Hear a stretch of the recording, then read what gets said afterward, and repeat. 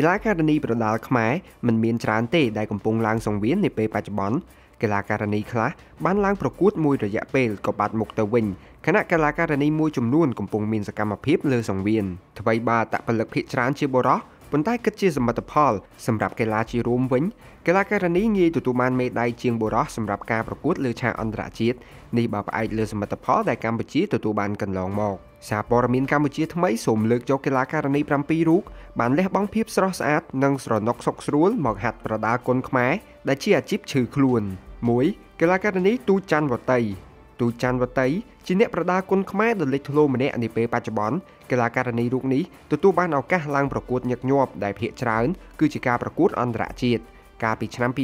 2023ទូច័ន្ទវតីបានឈ្នះមេដាយមាសស៊ីហ្គេមបន្ទាប់ពីបានយកឈ្នះកីឡាករនីវៀតណាមងវៀនធីឈៀវក្នុងវគ្គផ្ដាច់ព្រ័ត្រទម្ងន់54គីឡូក្រាម2កីឡាករនីមឿយសឹង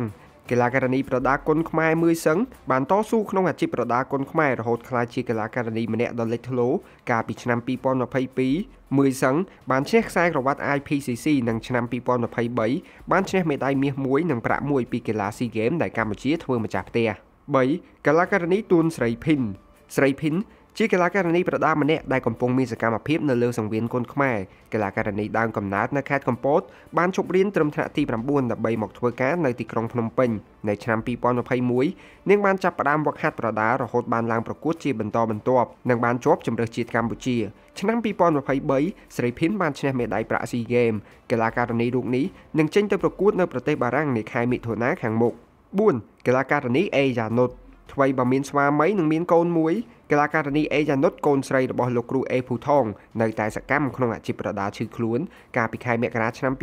2024យ៉ានុតទើបតែបានឈ្នះខ្សែក្រវ៉ាត់គុនខ្មែរ Cambodian គុនខ្មែរ KKIF បន្ទាប់ពីឈ្នះពិន្ទុកីឡាករនីថៃនេះជាខ្សែក្រវ៉ាត់ទី1ក្នុងអាជីពប្រដាល់របស់នាងនិងបានឈ្នះមេដាយសម្រិត SEA Games កាលពីឆ្នាំ2021នៅប្រទេសវៀតណាម5កីឡាករនីសីវិជ្ជការផ្ដើមចេញពីគ្រួសារខ្វះខាតសីវិជ្ជការបានបោះជំហានចូលអាជីពឈឺខ្លួនដើម្បីរកចំណូលជួយដល់គ្រួសារ ពីដំបូងកីឡាករនីរូបនេះបានស្រឡាញ់កីឡាគុនចម្រុះប៉ុន្តែក្រោយមកក៏ហាត់ប្រដាល់ kickboxing រហូតជាប់ជម្រើសជាតិកម្ពុជាកាលពីដើមឆ្នាំ2023ក្នុងនាមជាកីឡាករនី kickboxing ជម្រើសជាតិកម្ពុជាវិជ្ជការដែលមានដើមកំណើតខេត្តកំពង់ធំបានឈ្នះមេដាយសម្រិតកីឡា SEA Games នៅកម្ពុជាក្រោយមកនាងបានប្រកួតគុនខ្មែរដែលរហូតមកដល់ពេលនេះធ្លាប់ប្រកួតបានជាង20ដងហើយ6កីឡាករនីនៅស្រីពៅ នៅស្រីពៅជាកីឡាករនីប្រដាល់ម្នាក់ដែលប្រកួតច្រើនជំនាញដូចជាប្រដាល់សកលគុនចម្រុះ kickboxing និងគុនខ្មែរ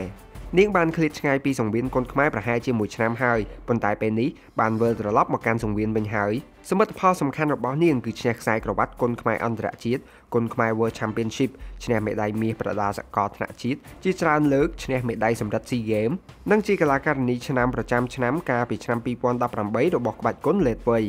7កីឡាករនីបារាំងរិទ្ធីអេម៉ាកីឡាករនីបារាំងរិទ្ធីអេម៉ាកំពុងទទួលបានការកោតសរសើរនិងស្រឡាញ់ពីប្រជាជនកម្ពុជានៅពេលនាងបានលះបង់ពេលវេលាដើម្បីវឹកហាត់គុនខ្មែរកីឡាករនីរូបនេះជានិស្សិតនៅប្រទេសបារាំងប៉ុន្តែបានជាប់ចិត្តនឹងគុនខ្មែរកាលពី2ឆ្នាំមុនជាពេលដែលធ្វើដំណើរកម្សាន្តមកប្រទេសកម្ពុជាអ្វីដែលពិសេសអេម៉ាក្រុងសរសេរសៀវភៅស្ដីពីការវឹកហាត់គុនខ្មែររបស់នាងជា5ភាសាដើម្បីជួយផ្សព្វផ្សាយគុនខ្មែរទៅកាន់ពិភពលោក។